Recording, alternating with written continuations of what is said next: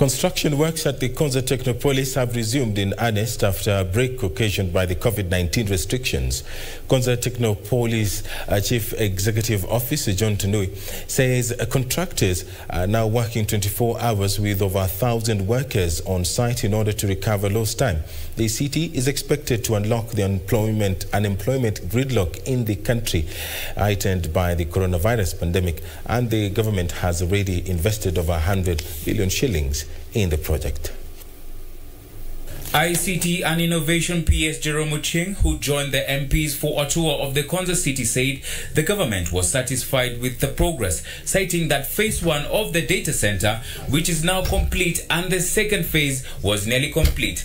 And we want to, want to confirm that is uh, up and, and running. Then the phase two that we have currently uh, site, I mean, that we are currently on site, we are informed is at 50%, and that it, will, it has been well, we've been informed that by December we'll actually be ready, and by January we can actually say that uh, we can use the main data center. The smart city roads, sewer, and drainage systems are currently being constructed with the state-of-the-art eight-story tower complete and being utilized for administrative purposes.